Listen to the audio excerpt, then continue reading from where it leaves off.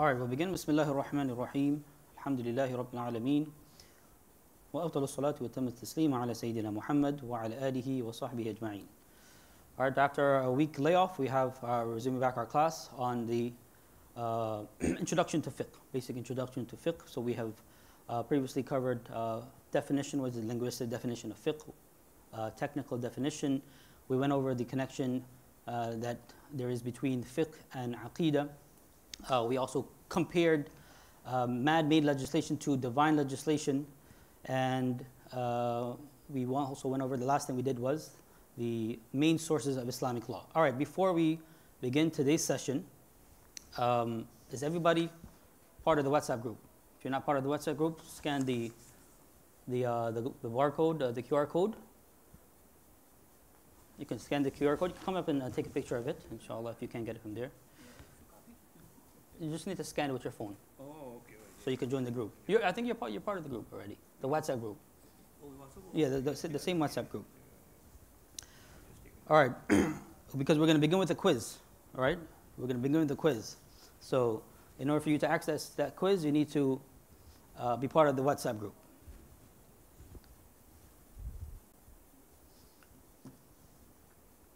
So, if you're not part of the WhatsApp group, scan the, the QR code, and then uh, you should have access to join. No, no. So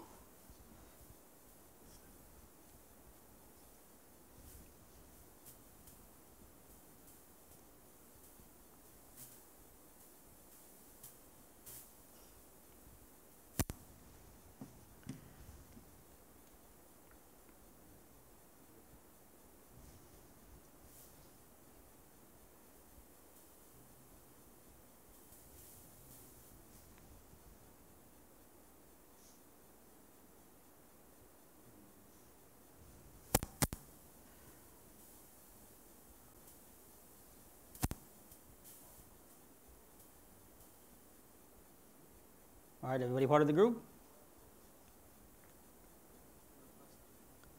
Yeah, um, I see. You should, be, you should be. You should have been joined by now. All right, so I'm going to put the, the, the, the, the link for the quiz in the group. All right, the quiz link for the quiz is going to be in the, in the WhatsApp group.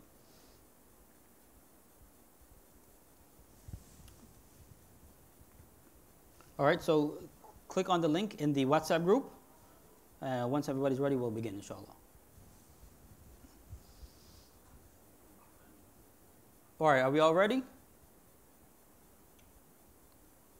Anybody else who's trying to get in can't get in? Okay.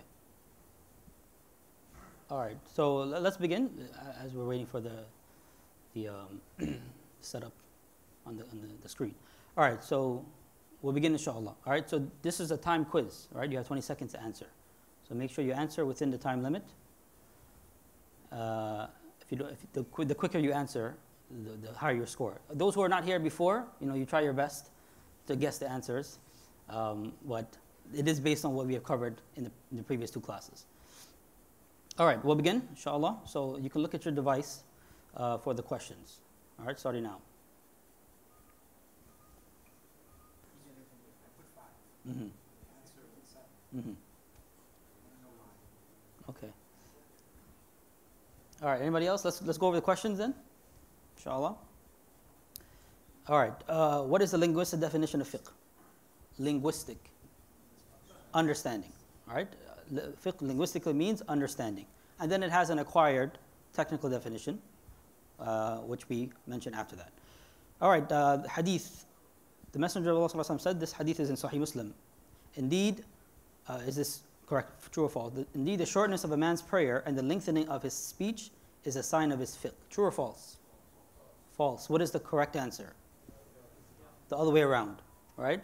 The lengthening of a man's prayer and the shortening of his speech is a sign of his fiqh.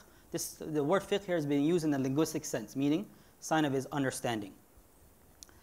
All right, uh, three. Fiqh is the knowledge of the rules of the revealed law that are attached to the beliefs of those legally responsible. True or false?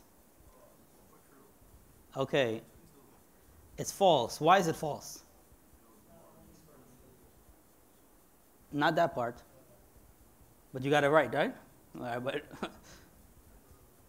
why is it why is it wrong? All right, look at the part where it says attached to the beliefs. No, not the legally responsible.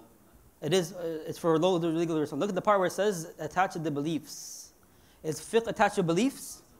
It's attached to actions. All right? Beliefs are your aqidah. There, of course, there's a connection between the two, right? But fiqh is about your actions, right? Knowledge of the, the rulings of the revealed law that are attached to the actions of those legally responsible. Number four, Salatul Witr is wajib, mandatory according to which legal school? Hanafi school. Let's get the hands up for the Hanafis here. Any other Hanafis? Okay. All right. And number five, rulings that are connected to the actions of people and their transactions with one another are called mu'amalat. All right, this is a category of fiqh. If you open a book of fiqh, they're going to start with ibadat, and then uh, depending on the order, it's always going to start with the ibadat, but then they might go into different uh, categories, but one of them is going to be mu'amalat, transactions, all right, buying and selling, trade. All right, this is called mu'amalat. Rulings that are connected to punishment of criminals and maintaining security and order are called uqubat, right? The punishment for theft, the punishment for murder, the punishment for drinking alcohol. Right? These are called uqubat. All right, the rulings of the real law found in the books of fiqh are divided into how many categories? This one is, I think, a bit tricky. How much? Seven. All right, can we get seven categories? So we already have two ibadat, worship. All right, what else?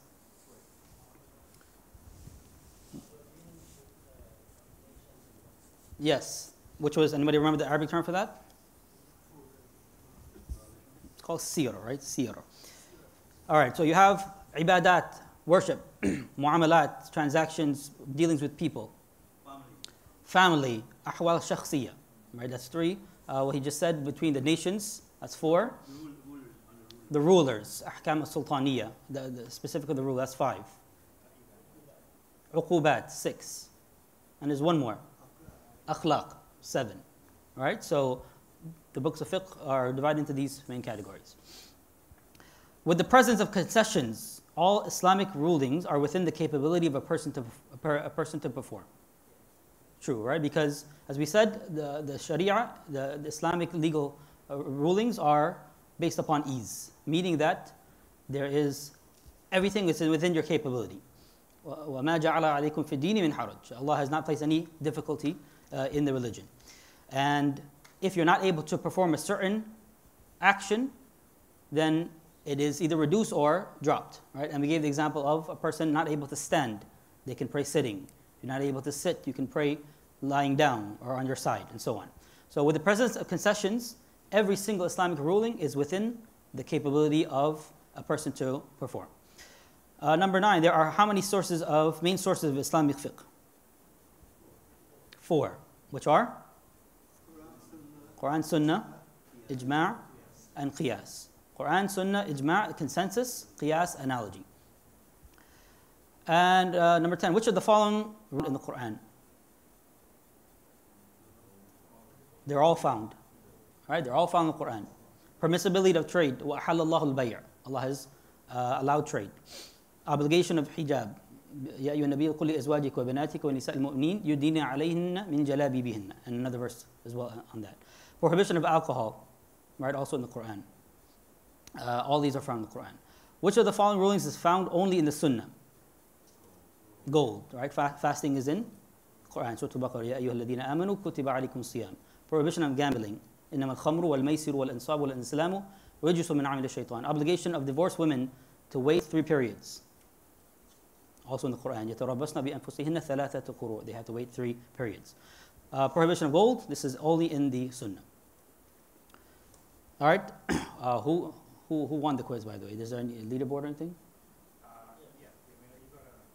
Uh, okay, who, who's number one? Who wants to claim the top prize? You? Okay. Who's number two?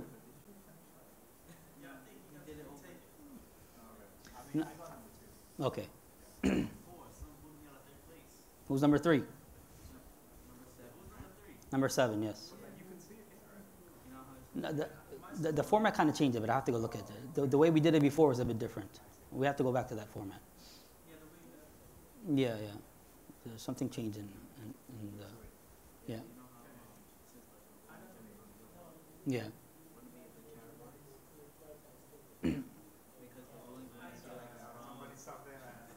yeah, these. Yeah, they're divided into categories. These rulings are divided into categories.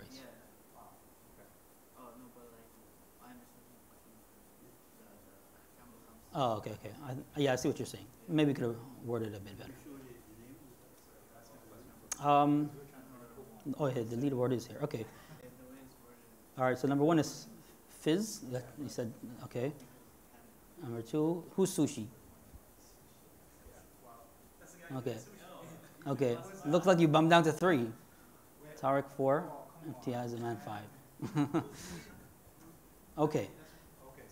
All right. Well, next next next time, inshallah, we'll try to go back to the original format. I think, which was a bit better, because this is more um, self-paced. I think.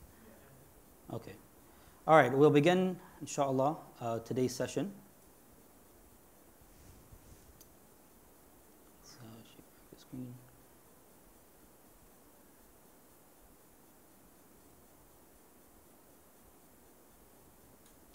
All right. So the last thing we stopped at was the main sources of Islamic law, so we said that there are four Quran, Sunnah, Ijma', and Qiyas. Ijma' is the consensus. All right, consensus. Consensus of who, though?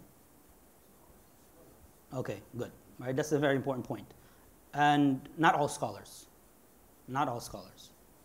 So, for example, a scholar of Aqidah is not considered an ijma'. Right?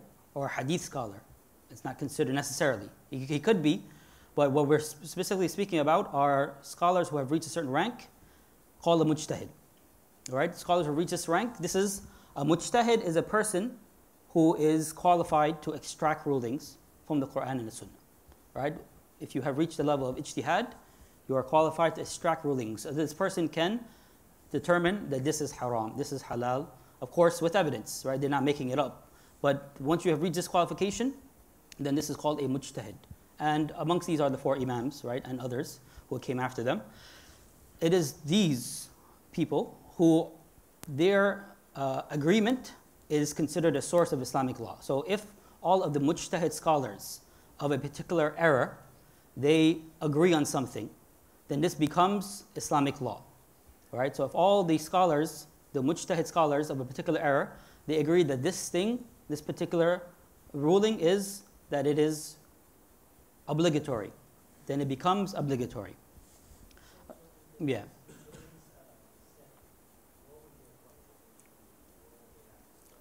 So it's the same. Quali- so the, the question is about what are the qualifications.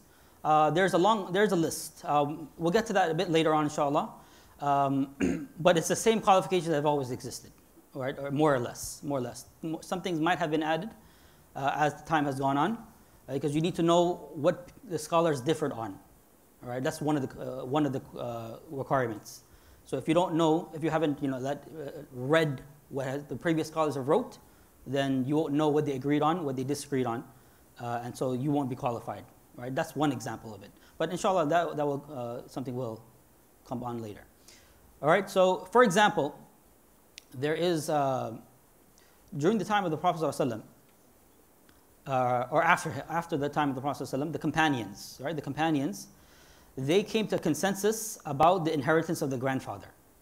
All right, so the grandfather, if a person dies and they have a son, but their father is no longer alive, but the grandfather is alive, does the grandfather inherit from that person? And if he does, what share does he get? All right, so this is not in the Quran, right? The, the Quran does not mention anything about the grandfather. It's not in the Sunnah either about the grandfather, specifically the grandfather, this ruling.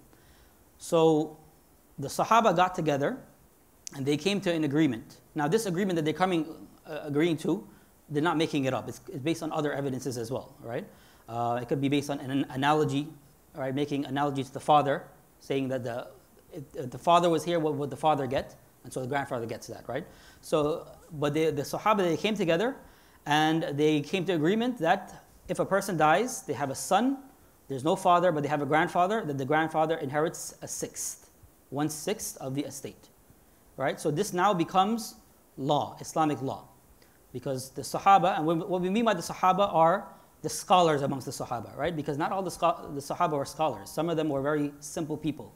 Some of them were just farmers, Bedouins. They're all considered Sahaba, but not all of them were uh, scholars. So we're, we're, specifically speaking about the scholars, the knowledgeable amongst the Sahaba. They came to agreement that the deceased person who dies and he leaves behind a son, no father, but there's a grandfather, the grandfather will inherit one sixth. Right? So this is an example of ijma', consensus. All right, what is the proof that this is a source of Islamic law? There are uh, proofs and evidences in the Quran and in the Sunnah. Amongst them is uh, the hadith in which Rasulullah says, I asked Allah not to let my ummah gather upon error, and He granted me that. Right? I asked Allah not to let my ummah gather upon error, and He granted me that. All right, uh, and another hadith uh, Rasulullah says, لا تجتمع لا تجتمع أمتي على ضلالة. My ummah will never gather upon misguidance. So it's not possible that all of the ummah would gather upon an error. So if they gather upon something, then this is an indication that this thing is correct and becomes a source of Islamic law. All right, and there's some verses of the Quran as well. وَمَن يُشَاقِقِ الرَّسُولَ وَيَتَّبِعْ غَيْرَ سَبِيلِ الْمُؤْمِنِينَ Whoever disobeys the messenger and they follow a path other than the path of the believers. This is right, amongst the proofs that are used uh, for consensus. So if all the Muslims, uh, meaning, now when we say all the Muslims, we're specifically talking about a specific group of the Muslims, right? Because uh, a, random, a random Muslim who knows nothing, it wouldn't make sense for them to be included in a, uh, in a discussion where they have no knowledge, right? So we say consensus the Muslims, but we're really speaking about a certain group of the Muslims who are specialized in, in whatever field that we're, that we're discussing. All right? Yeah.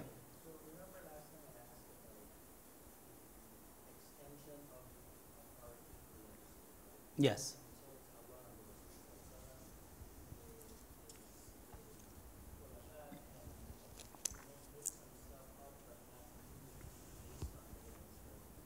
Yes. Mm-hmm. Mm-hmm.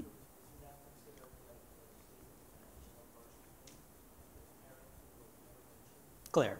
So the question is, uh, this seems to be that the companions are legislating, right? When we already said that only Allah and His Messenger can legislate. So is this not legislation?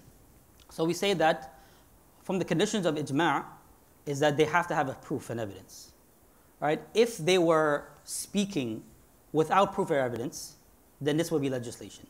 But ijma has to have a, uh, what they call a mustanad. It has to go back to something in the Quran and Sunnah. So in this case, it would be like an analogy. They go, they're going back to the Quran and Sunnah and they're making an analogy between the father and the grandfather. So they are still going back to the Quran and Sunnah. They're still following evidence, right? Uh, so they're not legislating. Uh, and this is similar to, you know, uh, a scholar saying witr is Sunnah, right? Rasulullah did not clarify the ruling, but that scholar extracted that ruling from the Quran and Sunnah. He's not legislating, right? He's extracting the ruling, right? So when the scholars come to a consensus, they're not making up a ruling. They're looking at the Quran and Sunnah, and then they are agreeing upon this evidence to give this ruling, right? So it's not legislation. It's not uh, considered legislation uh, independently. Wallahu a'lam. All right, so this is consensus. This is the third source of Islamic law uh, it comes after the Quran and it comes after the Sunnah. Yes. So consensus happens based off of scholars. Yes. Agree to something at a particular point in time. So the question is, consensus happens when scholars agree on something in a particular time. Yes. Right. So then, what happens if the conditions change? Like, um, you know, so 500 years ago they said that something was. Mm-hmm. Mm-hmm. Uh, you know, we know differently now. And, you know, at what point does that consensus become sort of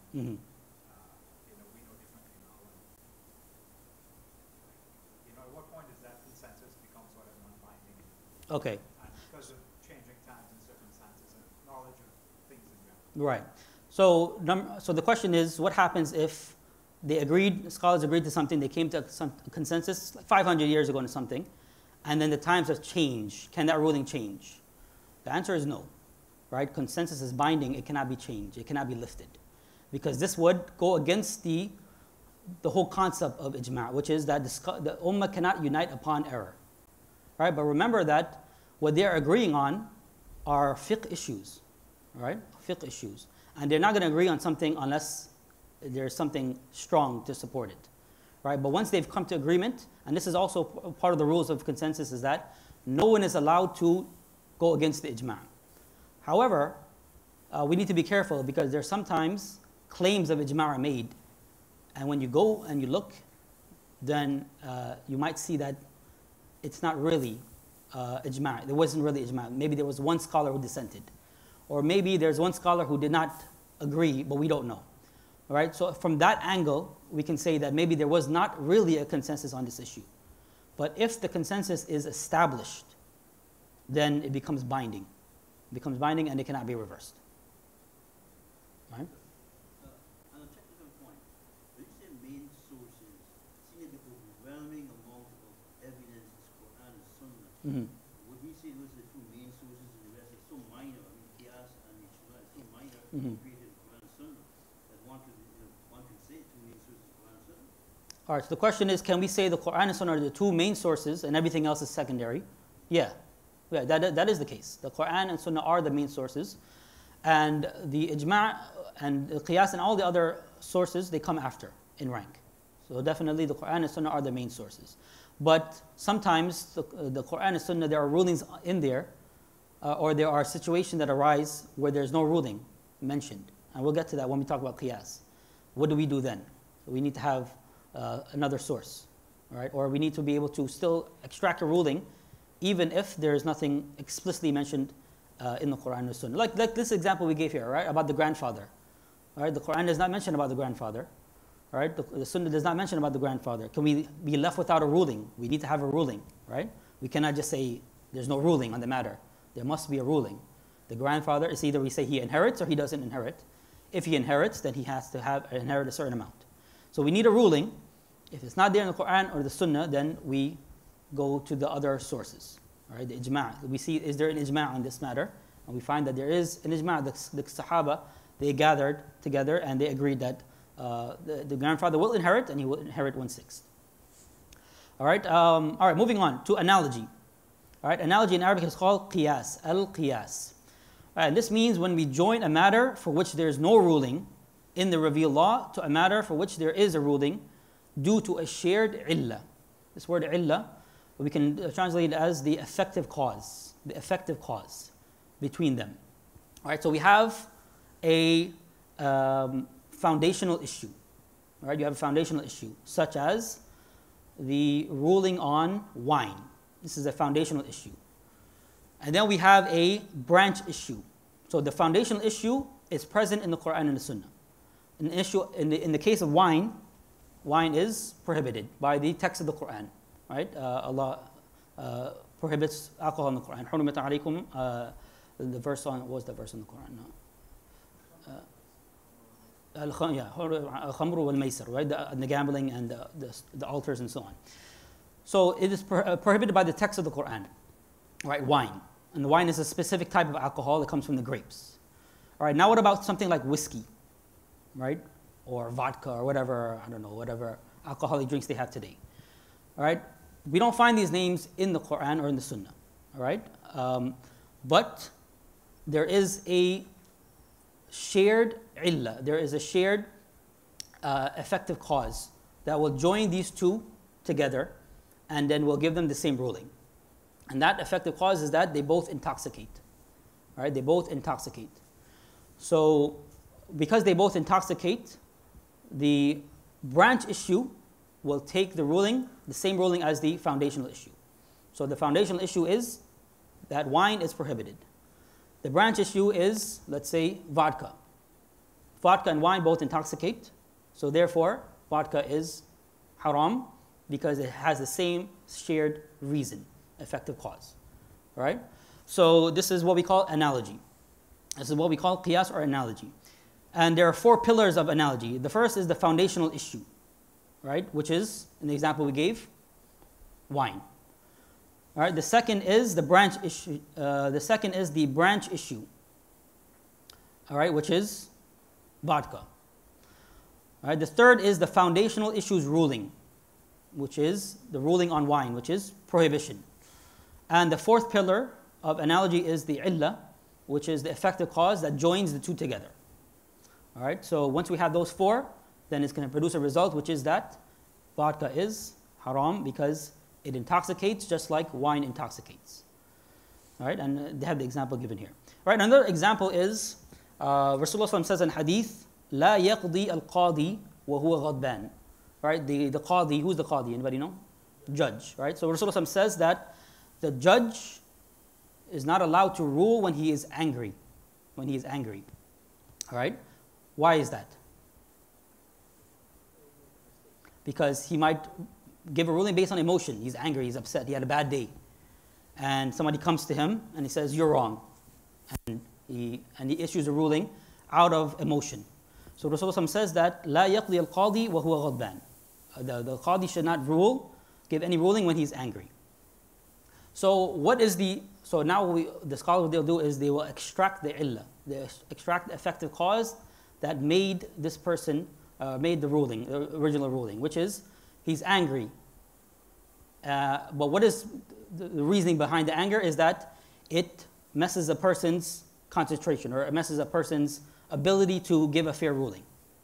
Right? So we give so they take from this so, so we have the foundational issue which is that you cannot give a ruling or you cannot judge when you are hungry. So that's the foundational issue. And the ruling it is prohibition. All right, now we have the branch issue, which is what if you are extremely hungry? The qadi is extremely hungry. So we will do qiyas. We will see that there, is there a uh, is there a connection between between the two, which is we look for do they share the same effective cause of the illah? The illah is that anything that distracts you from being able to judge properly, then you're not allowed to judge in that situation. So anger is the original ruling. The branch ruling is hunger. They're joined together by the fact that both of them distract the judge from being able to judge fairly and partially. So we will do what we call analogy or qiyas, and we will say that the judge is not allowed to judge when he's angry, and likewise, the judge is not allowed to judge when he is hungry or extremely hungry, or he's extremely thirsty. Some of them even say if he's extremely happy. Right? Anything that shares that, what they call the, the effective cause, anything that's going to distract that judge from giving a fair and partial ruling, then this would fall under prohibition, not by the text, but by analogy. All right, clear? I mean, that applies to something like, say somebody kidnaps the judge's wife, and they want to rule or something like Yes, right. So somebody kidnaps the judge's wife. Is he, is he able to think um, clearly? Right? Is he, is he able to concentrate on the issue? Right? This will distract him. So this will be another uh, cause that would, you know, we would say the judge is not allowed to judge in that situation. Right? So there are a number of examples. Right? Um, these are two that, we, uh, that, are, that are there. All right, so this is the fourth source of Islamic law, what we call al-qiyas or analogy. Yeah.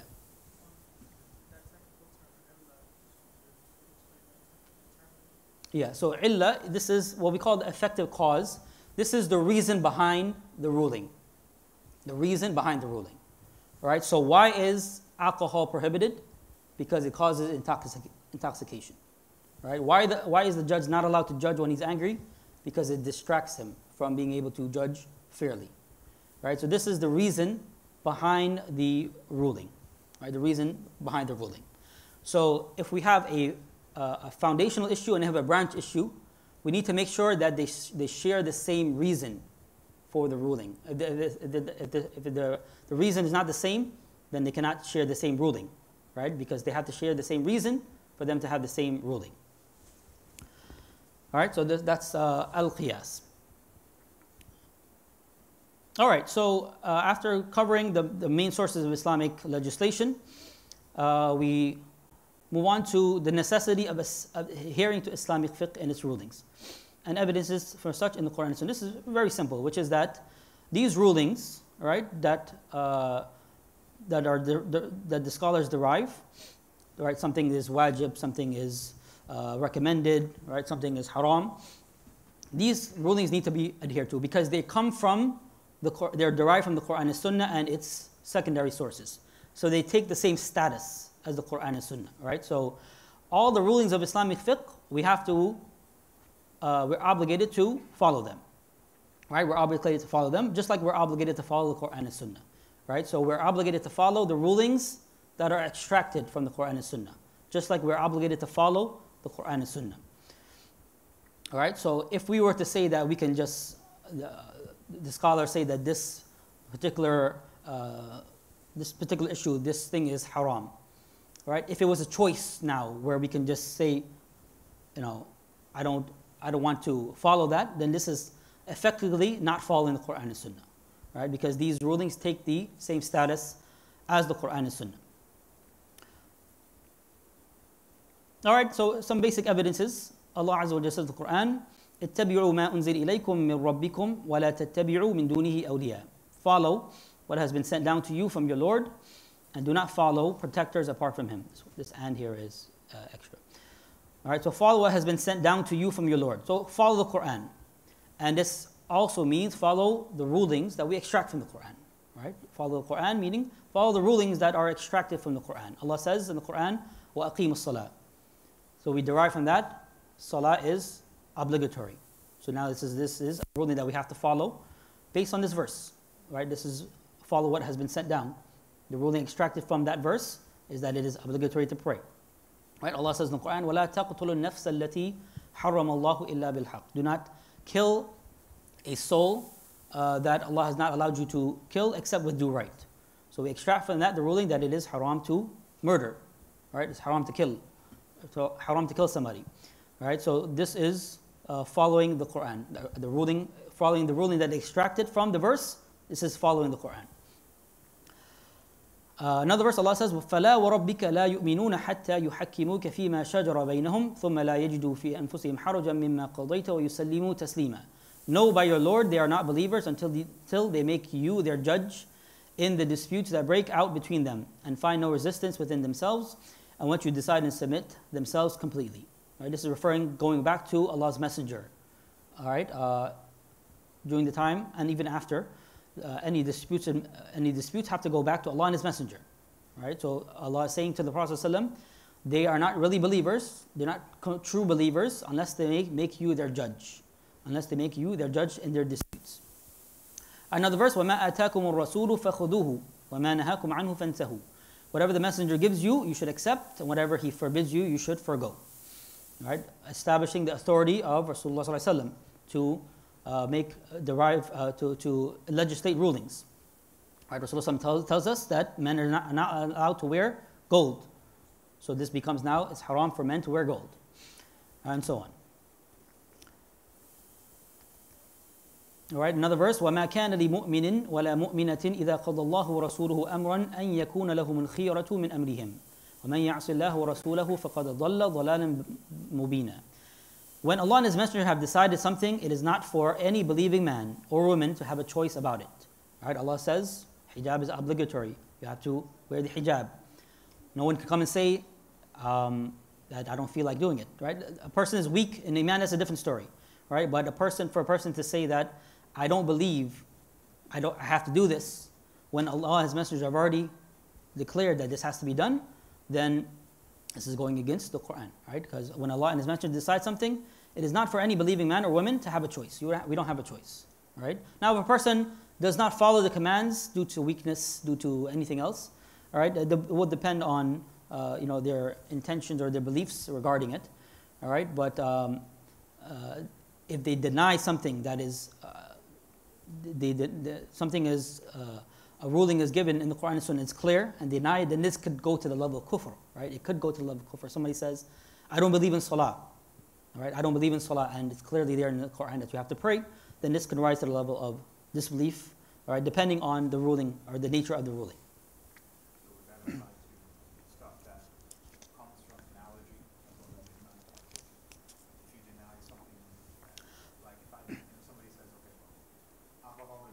Yes. You know, smoking some weed is fine. Okay.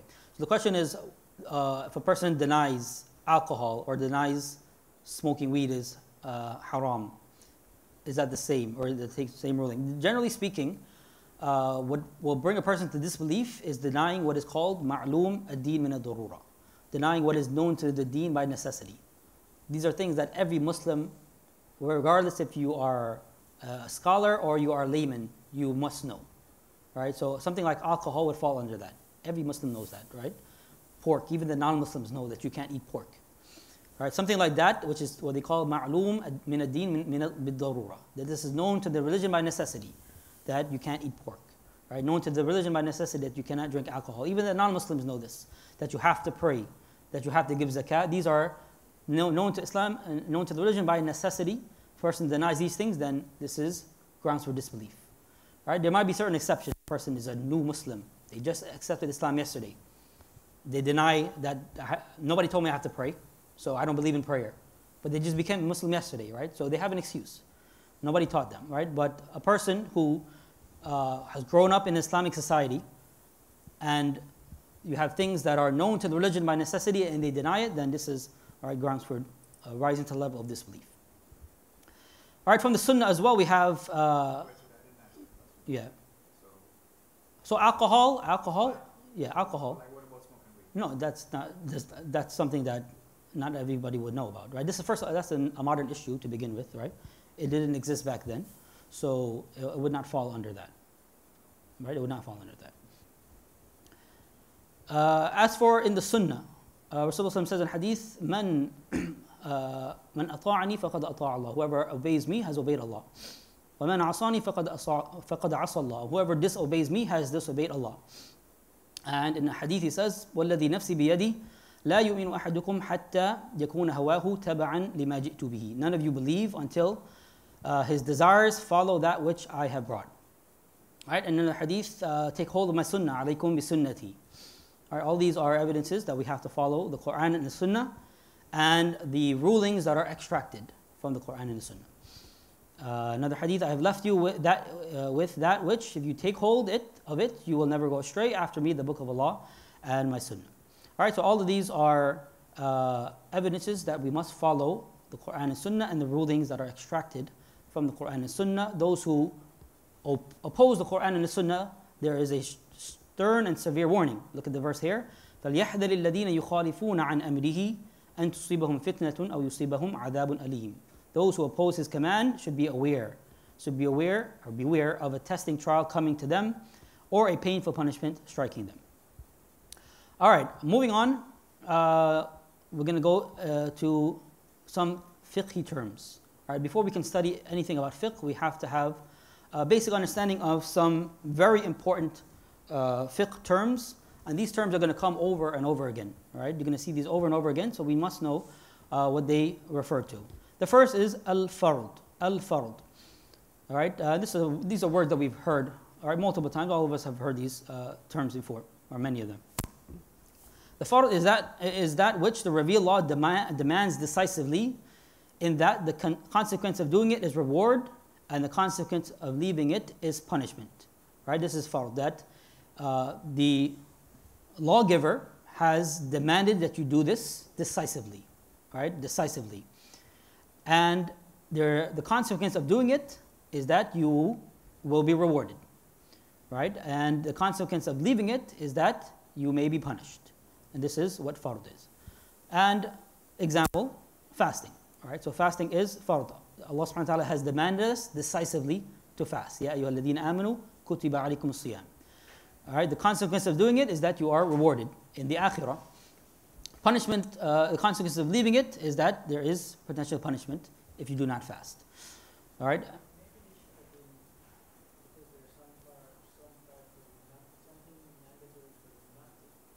Yeah, that's.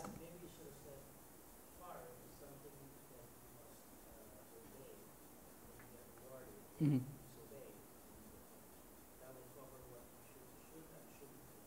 Right, but the, yeah, so the shouldn't do, that's another category we're going to get to. Yeah, which would be haram, right? That would be under haram. So this is, this is only co- covering what you have to do, what you're commanded to do, right? What you're commanded to stay away from, that will be haram. It's going to come later. All right, so what you're commanded to do, this is fard. Such as fasting, such as salah, and Hajj, and all any other other pillars of Islam, and anything else that is uh, we're obligated to do. All right, so uh, fasting, you're obligated to fast. If you fast, there is reward. If you do not fast, intentionally do not fast without excuse, then there is potential punishment. And all this is referring to in the next life. In the next life. All right, we have something else called wajib. All right, is there a difference between fard and wajib? All right, so the, the other three schools of Islamic law, the, the Malikis, the Shafi'is, and the Hanbalis, they do not distinguish between these two. Fard and wajib is the same exact thing, except in one chapter of fiqh, which is Hajj. We'll talk about that later. Right? But for the Han- Hanbalis, the Shafi'is, and the Malikis, there's no difference between fard and wajib. They're the same thing. Right? The Hanafis, they distinguish between fard and wajib. So for the Hanafis, fard is uh, something that we're obligated to do based on explicit proof. Explicit proof. All right? Such as salah or fasting. Right? The proof that you have to fast is explicit in the Quran. Kutiba alaykum siyam. The, uh, the proof that you have to pray is explicit in the Quran and Sunnah. Wa وَأَقِيمُ الصَّلَاةِ Right? Uh, uh Allah kataba uh, kataba uh, كتب salawat صلوات salawat fi kulli كل wa layla, Right? Uh, and بُنِيَ الْإِسْلَامُ عَلَى خَمْسِ شَهَادَةٍ لَا illallah wa وَإِقَامِ الصَّلَاةِ So there's explicit proof that you have to pray. So this will be fard. Now there are some other things that uh, the proof is not as explicit. It's not explicit. It's uh, they would consider an obligation, but because the proof is not explicit, it doesn't go to the level of fard, but it goes to a level right below, which is wajib, right? Uh, and they would say, for example, we gave the example witr. Witr, witr is what in the Hanafi school? Wajib. It's not fard, right? It's not fard, it's wajib, because the, explicit, the proof is not explicit for witr. But there are proofs that witr is wajib, according to the Hanafis. For example, you have the hadith where Rasulullah says, "Man lam yutir falaysa minna." Whoever does not make witr, there, he's not from amongst us. Right? Is that clear that this is wajib? It could be argued, right? But it is not. It's not like the clarity of uh, the salah that you have to pray, right? Or another hadith, "Inna Allah zada zadakum salatan." وهي الوتر. That that Allah has added for you a salah, and it is the witr. So pray between the, the Isha and the, and the, uh, the Fajr. Right? Is this clear that is wajib or it's mandatory? Right? It can be implied from that, right? But it isn't, it doesn't rise to the level of explicit proof. So they would consider this wajib, but it's not the level of fard. Right? And only the Hanafis do this. The other three schools, they do not distinguish between whether the proof is explicit or implicit, as long as we can derive that something is obligatory, then we, we, whether we call it fard or wajib is the same thing, right? Which is that uh, there, the consequence is reward in the hereafter and punishment uh, in the hereafter if you leave it off without excuse. All right, with the exception of Hajj, right? With the exception of Hajj, uh, for the other three schools, uh, in Hajj we do differentiate between fard and wajib, right? In Hajj specifically. Why? Because there are certain actions in Hajj. If you do it, you have no Hajj. If you do it, you don't. If you don't do it, sorry. If you don't do it, you have no Hajj. Right? Such as standing in Arafah, al-wuqufu bi Arafah. If you don't go, if you don't stand in Arafah, you have no Hajj. You have no Hajj, right?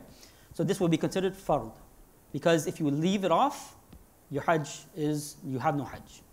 And there are certain actions that you have to do it, but if you leave it off, you can make up for it by offering a sacrifice. Right? For example, stoning the jamarat. Somebody they woke up late, all right, and they didn't get to stone the jamarat. They missed.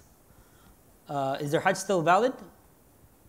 All right, they, their Hajj is still valid, but they have to do something to make up for it. They have to, uh, they have to do a slaughter, right? Alayhi dam, they say, right? They have to offer a sacrifice. Once they offer that sacrifice, then they have maintained the validity of their Hajj, right? So this will be considered wajib, all right, but not fard. But this is only in the chapter of Hajj that we would, we would differ- differentiate between uh, and wajib. All right, other than that, uh, they are essentially the same thing. According to the three other schools, according to the Hanafis, they distinguish between fard and wajib, and we gave the, uh, the reasoning for that. All right, uh, so let's uh, moving on to number three, al fard al aini, individual obligation. All right, so this is a demand on every individual Muslim, such as the prayer, fasting, Hajj, if you're able to do so. This is, uh, this is mandatory in every legally responsible Muslim. All right, and it is not sufficient if only some of them carry it out. Every Muslim must carry these out. All right, and these are well known: the salah, the fasting, and other pillars of Islam. All right, uh, opposite of that would be al fard al kifai, collective obligation. So this is something that is demanded to, for the Muslims to perform collectively, meaning that if some perform it, the obligation is lifted on the rest. If some perform it, the obligation is lifted on the rest. For example, Salatul Janazah. Muslim dies, it is the communal obligation that somebody must pray on that Muslim who has passed away. Uh, if one person prays that janazah, then the obligation is lifted on the rest of the Muslims. If nobody prays the janazah, and there, people had the opportunity to pray it, it's not like they didn't know, they knew, and nobody prayed the janazah, then the entire community is sinful. Right? So that's an example. Uh, also, uh, in that same chapter, the, the, the janazah, the shrouding, right? Somebody has to shroud the dead, right? Somebody has to do that from the community. This is a communal obligation, right? Washing the body, somebody has to do that. If nobody does it, then the entire community is sinful. So this is called al-fard al-kifai. Anybody have any other examples? Hmm? Good. Excellent, very good. Somebody walks into the masjid, and they give salam. All right? As long as one person responds, then this is sufficient for everyone. Nobody responds, everybody is sinful. Right? So somebody comes in the masjid, and they say, Assalamu alaikum. It is only uh, mandatory for one person to respond. Of course, everybody else can respond, but it is not, it is not an individual obligation for everybody to respond. All right, one person responds, and that suffices the entire group. Nobody responds, everybody is sinful. Anybody have any other examples? Good. Being a scholar, all right? Going, to, going and studying. Or commanding the good and forbidding the evil. All right? ولتكن منكم أمة يدعون إلى الخير ويأمرون بالمعروف وينهون عن المنكر. Allah says, and let there be a nation from amongst you who uh, they perform good and they, uh, they, uh, they command the good and they forbid the evil. All right, so this is communal obligation. Some people have to do it. If, no, if there's a, an evil going on and nobody says anything about it, then the entire community is sinful. Right, but if a few people go and they, they uh, say something about it, then they have lifted the obligation on the rest of the Muslims. All right, seeking knowledge as well, as you mentioned. Yeah. Go ahead. Three and four subcategories of one? Three and four? Yeah. Yeah. So this was subcategory fard. Subcategories of fard. So fard is branched into fard aini and fard kifai. And as we said, they are it's essentially the same thing as wajib right? According to the other three schools. All right, uh, number five, a rukun. A rukun. A is, uh, we can translate as pillar. And this is something that is obligatory for you to do, and it is part of the actual action. So, for example, in Salah, reciting Al Fatiha. This is a rukun. It is obligatory to do, you have to recite Al Fatiha, and it is part of the Salah, right? It is actually part of the Salah. Or bowing, the ruku' or prostration the sujood. These are called arkan. Rukn is the singular, arkan is the plural. These are things that we have to do, and they are part of the action. All right, number six is similar. And the difference between number five and number six, number six is a shart. A shart. This is something that we have to do, it's obligatory to, obligatory to do, but it is not part of the actual action, meaning it comes before the action. So, for example, wudu. Is wudu part of salah? right? It's not part of the salah, right? You, there's wudu and there's salah. So wudu is a shart. It is a condition for the salah. So it must precede the salah, but it is not actually part of the salah. But you still have to do it. You cannot, you cannot have salah without wudu. So wudu is a call, it's called a shart, it's a condition. All right, uh, another example is the qibla. So facing the qibla, this is not actually part of the salah. All right, this is not like reciting al-Fatiha and going to ruku' and going to sujood right? Those are arkan, those are pillars of the salah. Facing the qibla is a shart, is a condition, right? It must be present before you pray.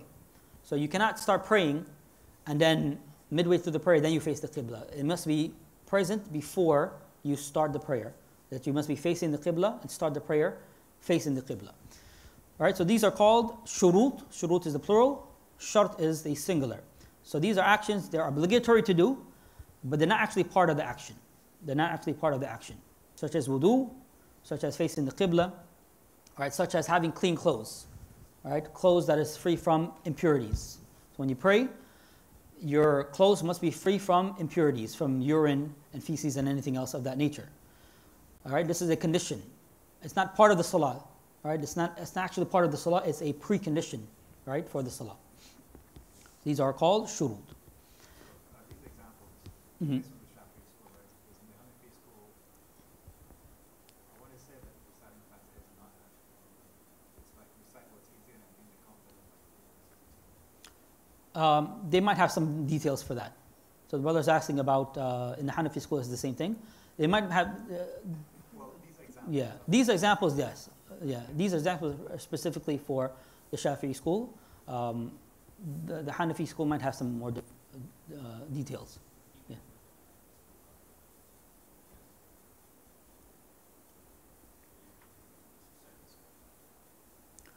No, he's talking about the Fatiha for people who are not able to recite it, Yeah, right? Quran, what's the minimum amount that you have to recite? And here it's Fatiha. It's like, Anyway, so maybe we can research that issue Yeah. and, and, and yeah. All right, so pillar, a rukn, shart, condition. All right, uh, al mandub, recommended. All right, so mandub is, this is something that we are demanded or asked to do, but it is not a decisive demand in the sense that there's the consequence of doing it is reward, but there's no punishment if you leave it. Yes.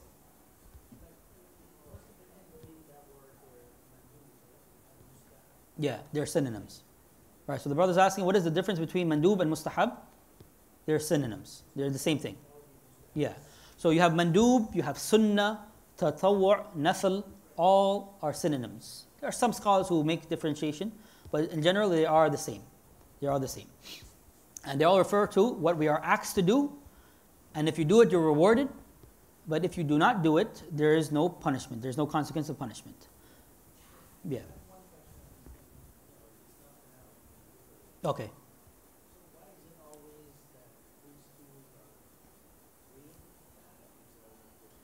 Okay. So the question is why are the three schools agreeing and the Hanafis are differing? This, this goes back to uh, the way the, the Islamic legal theory, the way they derive Islamic legislation.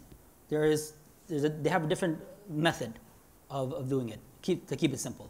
There's a different method of how they, uh, how they, most of it is the same actually, right? Uh, it, might, it might seem that they're drastically different, but a lot of it is the same. Uh, but the, the, this goes back to uh, the, some differences in Islamic legal theory, what we call usul al-fiqh. Yeah. N- not necessarily.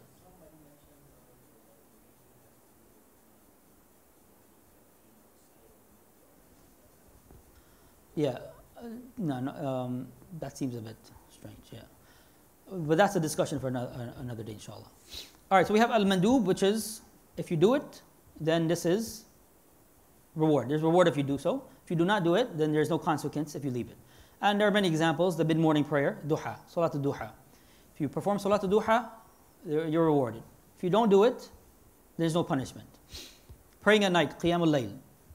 Fasting the six days of Shawwal, and many other examples of things that if you do it, you're rewarded. If you do not do it, there is no sin, there's no threat of punishment.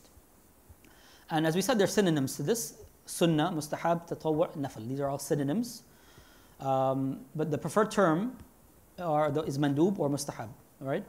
The word, the, the word sunnah, uh, it can cause confusion. So it's best to avoid using this term uh, because this, the word sunnah has multiple meanings depending on which field of Islamic uh, science you are referring to. So for the scholars of fiqh, sunnah means mandub, meaning something that if you do, you're rewarded, and if you don't do it, there's no punishment. Right? But for the scholars of hadith, sunnah means anything that has been related from the Prophet ﷺ, from his speech, from his actions, from his approvals, from his descriptions, from his seerah. Right? The, uh, the hadith scholars, they, when they say sunnah, they have a different meaning. Right? The scholars of Islamic legal theory, uh, they consider uh, sunnah to mean what, has, what we can derive law from. So this would be speech, and we gave this definition earlier, right? The speech, actions, approvals. This is sunnah according to the scholars of Islamic legal theory, which we call usul al-fiqh.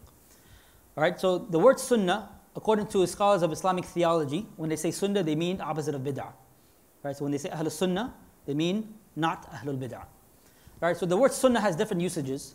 So for that reason, uh, we use terms like this mandub or mustahab uh, so that we don't get into any confusion. Right, but it essentially refers to what we are asked to do and you're rewarded for doing it, but you're not punished if you leave it off. Um, how much time do you have left?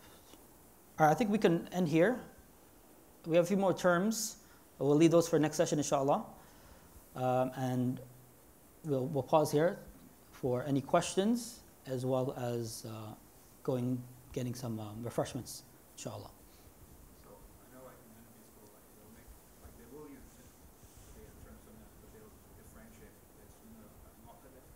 Yeah. Yes. Yeah. Yeah, so the brothers, you're asking about the term sunnah mu'akkadah. That's also in other schools as well. Right, that's also in other schools. Uh, that just means whether a sunnah is emphasized, meaning the Prophet never left it, or he left it sometimes. But is that distinction uh, represented anywhere? Um, I don't think they have it here, but it is there. It is there, further study, but it's not mentioned here. Any other questions? Yeah.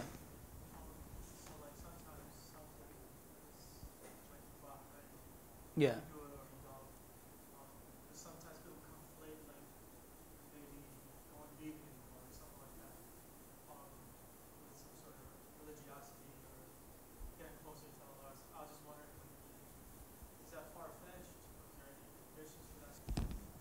All right, so the question is things that are permissible, all right, and the person is leaving it off, thinking they're going to get rewarded. Or doing something. Mm-hmm. something okay, so th- th- there's two discussions to that. There's the first, the first discussion is doing something permissible, but with an intention uh, to make it something uh, from the religion or something to aid you in the religion, right? Um, such as a person uh, going to sleep early so that they can wake up for Qiyamul Layl. Right? So going to sleep early, the original ruling is this of this is what? Permissible. Right? The original ruling is permissible. You can go to sleep early or you can, you know, go to sleep a bit later. But if a person has the intention, I'm going to go to sleep early so I can wake up for Qiyamul Layl, then this will this intention will change that mubah to uh, recommended. Right? And the scholars say, بالنية تتحول العادات إلى العبادات. That with the intention, the adat, the normal things, they, they, they can turn into ibadat. Right? Or if a person going, going to work because they want to provide for their family, because they know that uh, they are uh, obligated to provide for their family. So they go with this intention. So now that thing that is permissible, it, it becomes an act of worship. Right? So that's one discussion. And the other discussion is a person leaving off something permissible, which was talking about the vegans, right? So you're leaving off something permissible for, for what reason?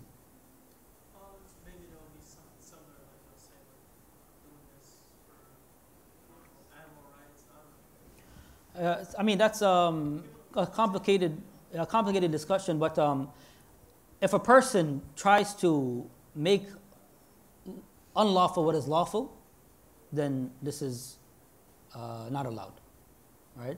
And there's hadith on this. Uh, uh, a man came to Rasulullah and he asked him, you know, if I do, if I pray the salah, if I do this, وَأَحْلَلْتُ الْحَلَالِ وَحَرَّمْتُ الْحَرَامِ, right? I, I make sure, I, uh, I make sure that uh, the, the, halal is halal, right? I acknowledge what is halal is halal, I acknowledge what is haram is haram. Uh, if, if, I do all these things, I will enter Jannah. And the scholars have mentioned that uh, by ahlatul halal meaning that I don't make what is halal haram, right? Or I don't make what is haram halal. So if a person does something like this where something is halal and they make it haram, right? Then this is this would be uh, not this is this this would not be allowed. I, but if a person does that for like health reasons, so they say, I'm not going to eat meat, but this has nothing to religion because I just want to be healthy. But they're not making it haram, right? They're not saying that this meat is haram, but doing it for health reasons. Then you know that's that's a bit different. Allahu a'lam. All right, uh, we'll pause here, inshallah, because we have some refreshments and we have to uh, give the adhan soon. So we'll resume next week, inshallah. There's, uh, I don't know if there's any questions from the sisters. Um, was there a texting or anything like that? The number, okay. Okay. Uh, if there's any questions from the sisters, maybe you could write it down and send it up. And if we don't answer it now, we can answer it uh, next week. Okay, no questions. Okay. So we'll, we'll pause here. Subhanallah bihamdik. Nashadu la ilaha illa ant. Nastaghfiruka wa natubu ilayk.